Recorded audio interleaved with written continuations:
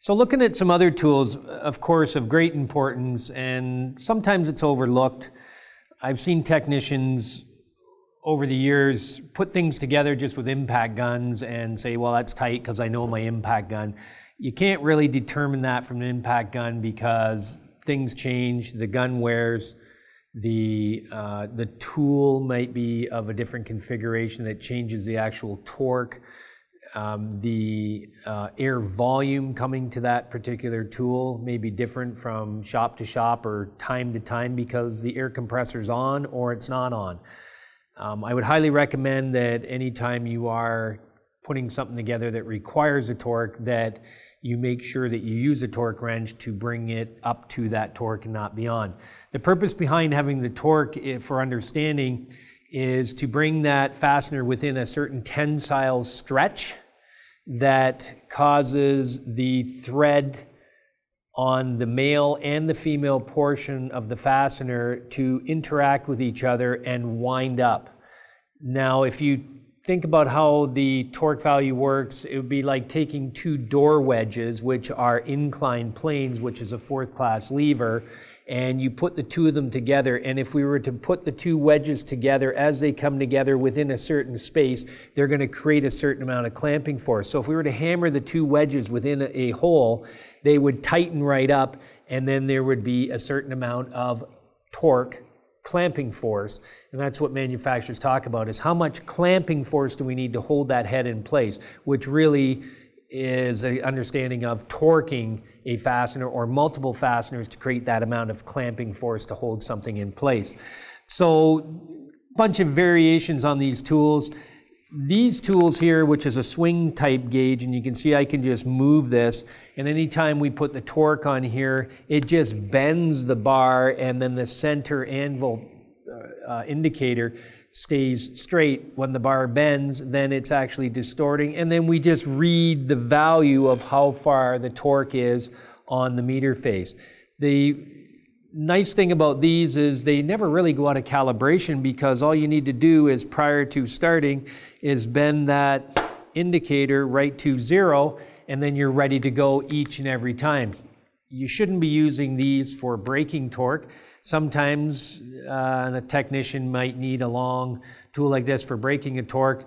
It's not really going to hurt it. You shouldn't be using it though. Uh, but the only thing you would have to do in this particular case, if you did use it for a breaker bar, is make sure it's calibrated before you start.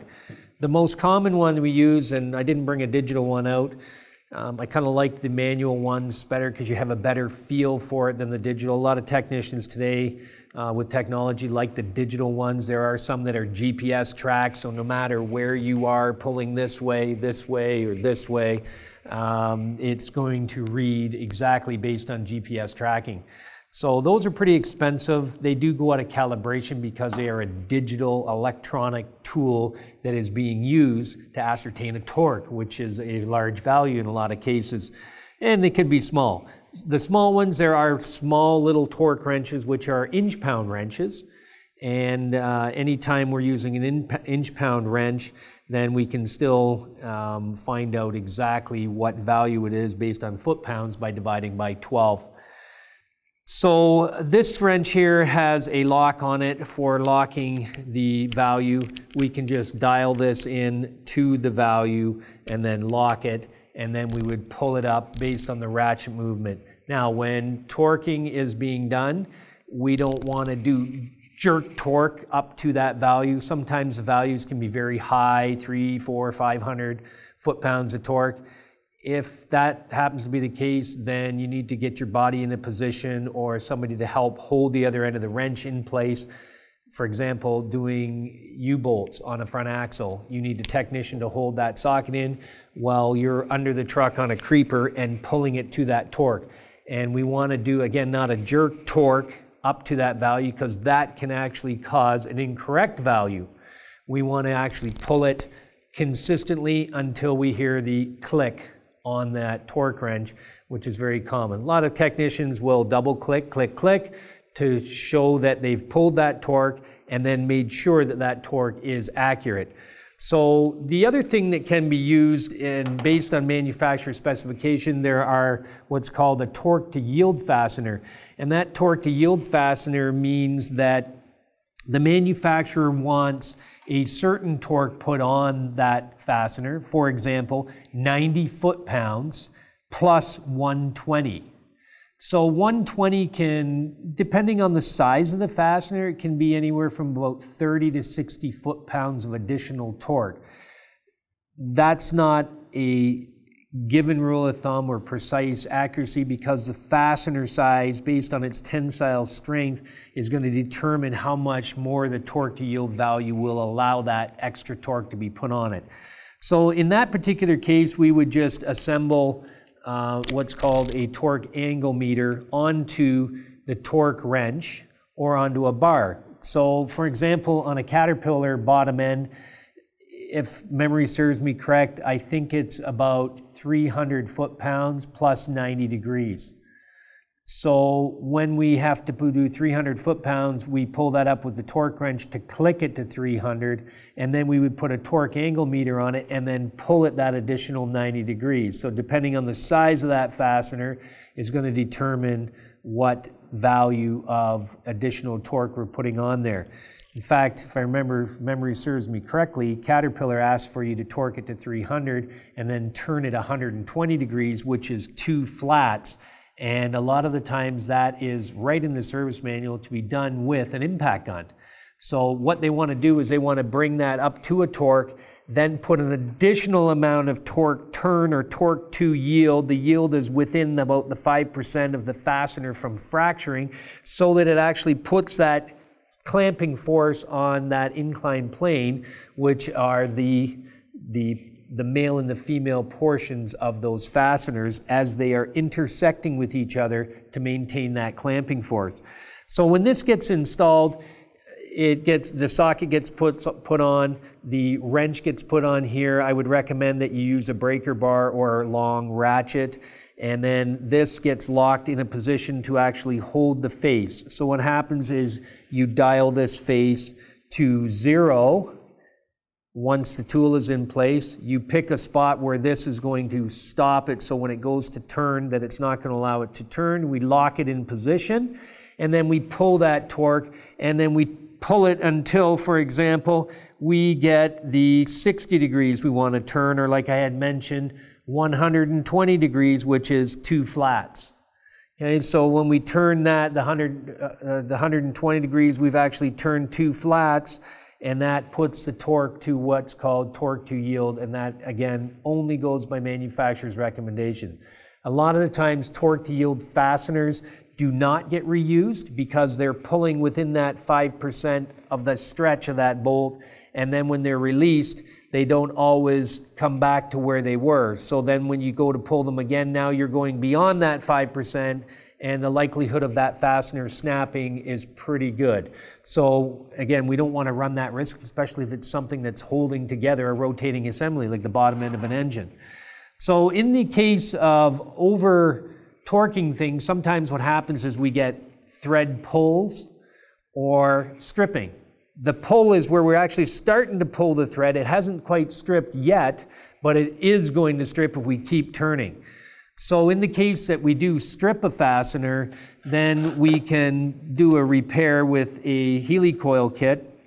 And this happens to be a helicoil kit for a 3 8 national coarse 16 threads per inch fastener.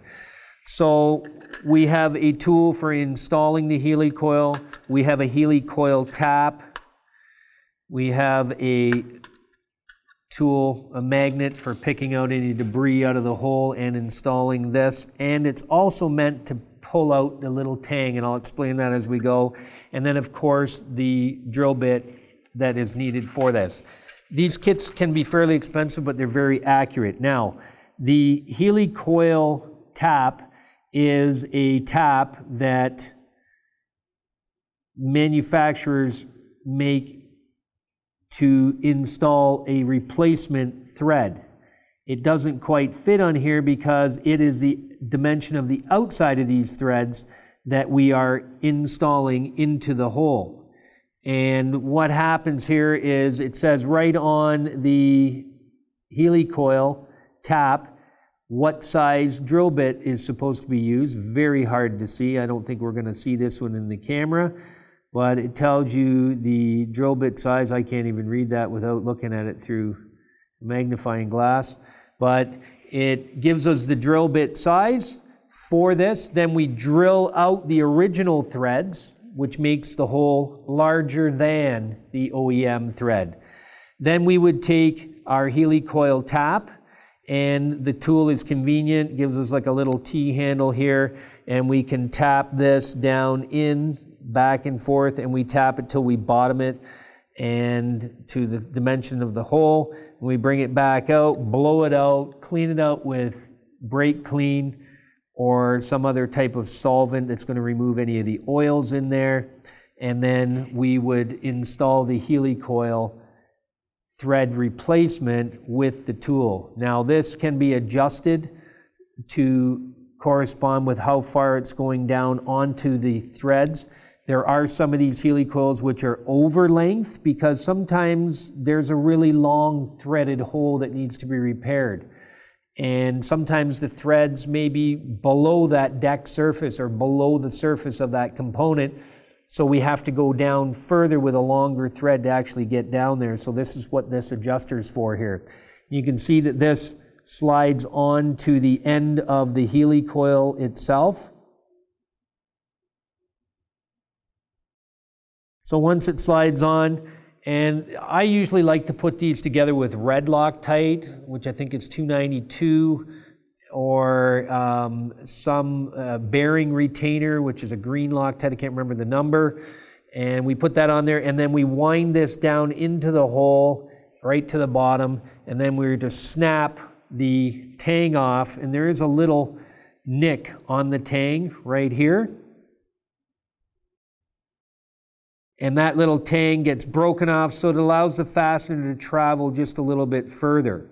So depending on how far it goes down determines your type of repair that you're doing, and that would be technician judgment on how far it has to go to basically do its job. So normally we snap that tang off of there that allows the, the threaded portion of the fastener to continue on down through the hole and to its bottomed area.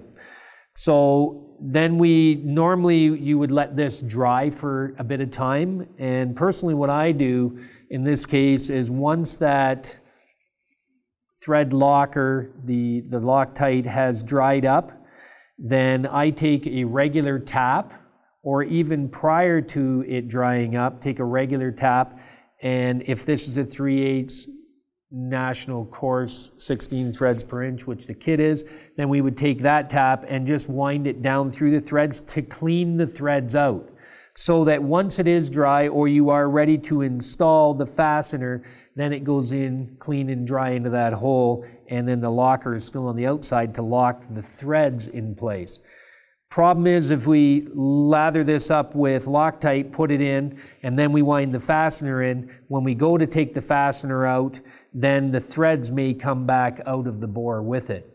So the idea would be do the repair, let it set, clean it out, or prior to, then put it together once it's dry, and then you have a brand new thread back in position to create the torque needed to hold that fastener and that component together in place. So there, these are available from your local jobbers. Uh, this kit in particular, I can't remember exactly how many were in here. I think there was eight of them in here. And uh, all the equipment needed to do the repair uh, in the kit. And they did come with instructions, but we know and through these videos that we have some instruction here. This kit is around, I think it's close to $100, but it does do a lot of repairs. And I just keep this handy for some of the stuff that we typically end up having to repair in the lab. Uh, and that's because we're putting fasteners in and out, on and off components all the time. So you can get these in metric, standard, fine thread, coarse thread, over length, small ones, and sometimes, depending on your skill set, if you're pretty good at it, you can stack these to use two of them so that they, when you break the little tang off, that they intersect with each other and then they make an over length one. So uh, practice these up and you know, they, they do work very well for all thread repairs.